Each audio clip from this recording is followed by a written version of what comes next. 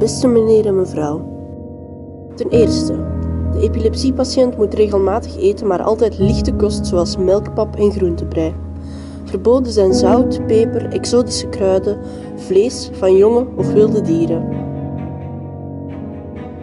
Ten tweede, de zieke moet veel zuiver water en verse melk drinken. Verboden zijn koffie, thee en alcohol. Alcohol is het grootste vergif voor epilepticus. Eén slok kan al zware accidenten veroorzaken. Vanzelfsprekend is ook.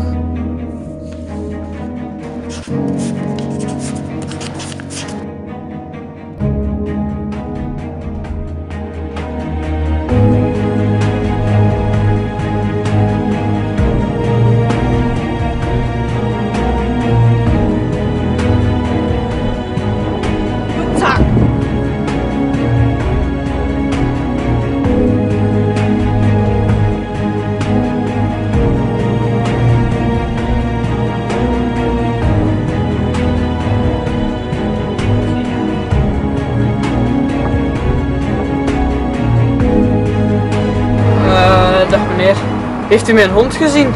Zoek dat uit je hoofd, vriend. Met de oorlog die nu over ons land hè, is geen enkel hond meer veilig. Ze worden allemaal geslacht om later opgegeten te worden. Mensen eten alles in oorlogstijd. En als je toch je hond wilt blijven zoeken, dan heb je één ding nodig. Heb